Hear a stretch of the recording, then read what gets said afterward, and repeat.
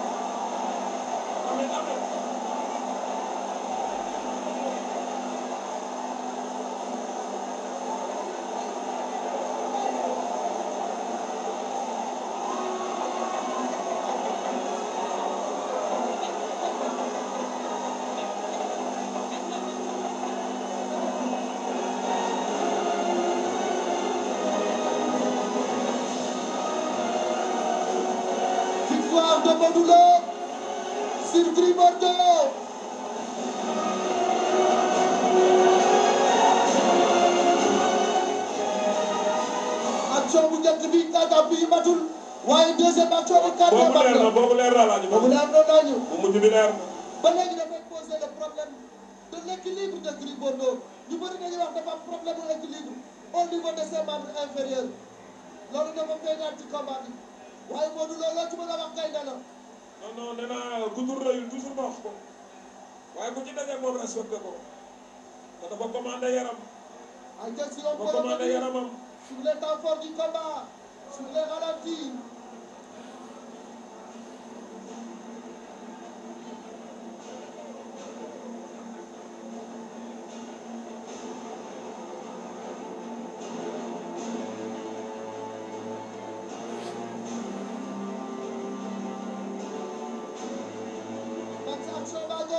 action baa ngi noonu sëkkatal na ko gis nga mu dóor ku dóoraat ku de dégagement ba léegi moom moo ñu génn mu daxaka tànk ba muy ko mu fàq ko fàq ko mu rëb da ko somb da ko nooju da ko nooju fàq ko da ko nooju